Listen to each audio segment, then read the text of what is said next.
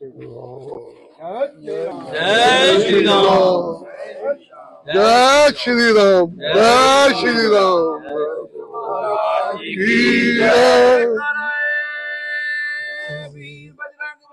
ਹਰ ਹਰ ਮਹਾਦੇਵ ਭਾਈ ਨਾਲ ਹੋ ਜੀ ਮੁੰਡੇ ਹੋ ਜਾ ਸਾਰੇ ਇੱਕ ਮਿੰਟ ਭਾਜੀ ਆ ਜਾਓ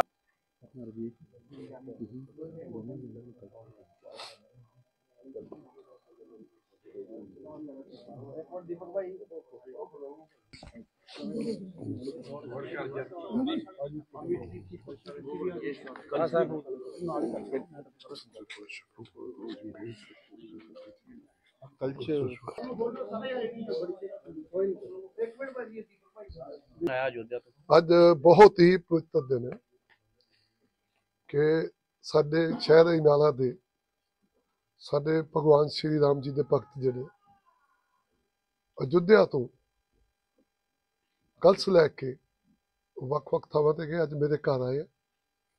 ਮੈਂ ਸਮਝਦਾ ਕਿ ਇਹ ਤੋਂ ਵੱਡਾ ਮੇਰੇ ਲਈ ਕੋਈ ਸੁਭਾਗ ਮੌਕਾ ਨਹੀਂ ਹੋ ਸਕਦਾ ਕਿ ਅਯੁੱਧਿਆ ਦੀ ਧਰਤੀ ਜਿਹੜੀ ਹੈ, ਉੱਥੋਂ ਦੇ ਕਲਚ ਜਿਹੜੇ ਉਹ ਇਹ ਲੈ ਕੇ ਆਏ ਆ। ਇਹਨਾਂ ਨੂੰ ਜੀ ਆਇਆਂ ਕਿਹਾ, ਵੈਲਕਮ ਕਿਹਾ। ਔਰ ਮੇਰੀ ਕਾਮਨਾ ਕਿ ਭਗਵਾਨ ਰਾਮ ਜੀ ਜਿਨ੍ਹਾਂ ਦੇ ਬਹੁਤ ਵੱਡੇ ਮੰਦਿਰ ਦਾ 22 ਜਨਵਰੀ ਨੂੰ ਉਦਘਾਟਨ ਹੋ ਰਿਹਾ। ਇਹ ਵੀ ਇੱਕ ਚੰਗਾ ਲਾ ਲਓ ਸਾਡੇ ਵਾਸਤੇ ਕਿ ਸਾਡੇ ਸਮੇਂ 'ਚ ਹੋ ਰਿਹਾ। ਸਾਡੇ ਵਕਤ 'ਚ ਹੋ ਰਿਹਾ ਨਹੀਂ ਤੇ ਕਈ ਵਾਰ ਆਪਾਂ ਦੇਖਦੇ ਹਾਂ ਵੱਡੇ ਵੱਡੇ ਮੰਦਿਰ ਕਹਿੰਦੇ ਜੀ ਇਹ 200 ਸਾਲ ਪੁਰਾਣਾ ਜੀ 500 ਸਾਲ ਪੁਰਾਣਾ ਜੀ, ਹਜ਼ਾਰ ਸਾਲ ਪੁਰਾਣਾ ਜੀ।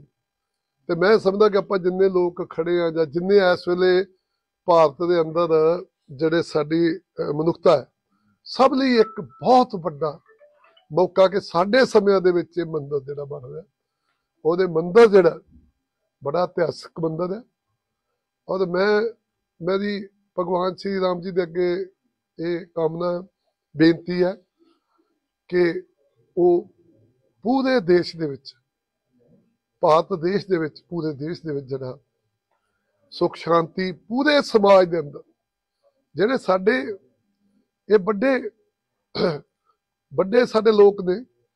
ਭਗਵਾਨ ਰਾਮ ਜੀ, ਗੁਰੂ ਨਾਨਕ ਸਾਹਿਬ, ਵੱਡੇ ਜਿਹੜੇ ਸਾਡੇ ਪੀਰ ਪਕੰਬਰ ਨੇ, ਇਹ ਸਾਨੂੰ ਮਨੁੱਖਤਾ ਦੀ ਸੇਵਾ ਕਰਨ ਲਈ ਸਾਰੇ ਸਮਝਾਉਂਦੇ ਆ। ਇਹਨਾਂ ਦਾ ਸਾਰਾ ਸਿਧਾਂਤ ਹੀ ਇਸ ਗੱਲ ਤੇ ਆ।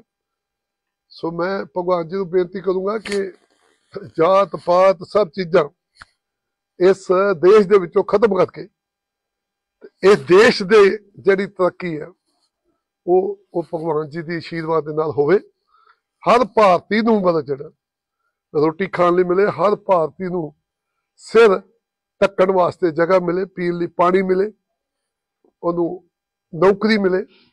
ਇਹ ਇਹ ਮੇਰੀ ਕਾਮਨਾ, ਭਗਵਾਨ ਰਾਮ ਜੀ ਦੇ ਅੱਗੇ ਕਿ ਪੂਰਾ ਦੇਸ਼ ਇਸ ਵੇਲੇ ਬਹੁਤ, ਪੂਰੇ ਦੇਸ਼ ਦੇ ਅੰਦਰ ਖੁਸ਼ੀਆਂ ਮਨਾਈਆਂ ਜਾ ਰਹੀਆਂ ਹਰ ਪਾਸੇ, ਪੂਰੇ ਦੇਸ਼ ਦੇ ਕੋਨੇ ਕੋਨੇ ਸੋ ਬੇਨਤੀ ਆਪਾਂ ਨੂੰ ਸਭ ਨੂੰ ਅਰਦਾਸ ਕਰਨੀ ਚਾਹੀਦੀ ਹੈ ਕਿ ਭਗਵਾਨ ਰਾਮ ਜੀ ਕਿਰਪਾ ਕਰਨ ਕਿ ਸਾਡਾ ਦੇਸ਼ ਤਰੱਕੀ ਕਰੇ।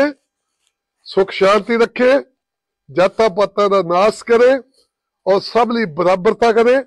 ਔਰ ਸਭ ਨੂੰ, ਜਿੱਦਾਂ ਮੈਂ ਪਹਿਲਾਂ ਕਿਹਾ ਹੈ ਕਿ ਸੌਣ ਲਈ ਛੱਤ ਦੇਵੇ, ਪੀਣ ਲਈ ਪਾਣੀ ਦੇਵੇ, ਪੇਟ ਲਈ ਰੋਟੀ ਦੇਵੇ ਜੌਬ ਦੇਵੇ, ਸਾਡਾ ਦੇਸ਼ ਤਰੱਕੀ ਕਰਦੇ। ਮੇਰੀ ਇਹ ਹੀ ਕਾਮਨਾ ਔਰ ਮੈਂ ਬਹੁਤ ਖੁਸ਼ ਹਾਂ ਕਿ ਅੱਜ ਦਾ ਟਾਈਮ ਸ਼ਾਮ ਦਾ ਮੇਰੇ ਵਾਸਤੇ ਬਹੁਤ ਪਵਿੱਤਰ ਟਾਈਮ ਹੈ ਕਿ ਜੁੱਧਿਆ ਤੋਂ ਮਤਲਬ ਭਗਵਾਨ ਜੀ ਦੇ ਉੱਤੋਂ ਕਲਚ ਜਿਹੜੇ ਲੈ ਕੇ ਆਏ ਸਾਡੇ ਭਰਾ।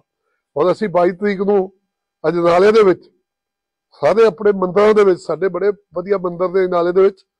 ਔਰ ਅਸੀਂ ਸਾਰੇ ਉਦੋਂ ਇਹ ਦਿਨ ਜਿਹੜਾ ਮਨਾ ਰਹੇ ਸਾਰੇ ਨਾਲਾ ਨਿਵਾਸੀਆਂ ਨੂੰ ਸਾਰੇ ਇਲਾਕਾ ਨਿਵਾਸੀਆਂ ਨੂੰ ਬੇਨਤੀ ਹੈ ਕਿ ਉਦੋਂ ਸਾਰੇ ਜਾਣੇ ਮੰਦਰਾਂ ਚ ਆਓ। ਆਪਾਂ ਭਗਵਾਨ ਜੀ ਦਾ ਇਹ ਦਿਨ ਜਿਹੜਾ ਮਨਾਉਣਾ ਹੈ, ਮੰਦਰ ਦਾ ਉਦਘਾਟਨ ਜਿਹੜਾ ਆਪਾਂ ਖੁਸ਼ੀਆਂ ਸਾਂਝੀਆਂ ਕਰਨੀਆਂ ਸਭ ਨੂੰ ਸਭ ਨੂੰ ਬੇਨਤੀ ਹੈ ਕਿ ਸਾਰੇ ਜਾਣੇ ਸਾਰੇ ਮੰਦਰ ਜਿੰਨੇ ਮੰਦਰ ਹੈ ਨਾਲੇ ਦੇ ਸਭ ਮੰਦਰਾਂ ਦੇ ਵਿੱਚ ਆਓ। ਇਹੀ ਮੈਂ ਕਹਿਣਾ ਚਾਹੁੰਦਾ।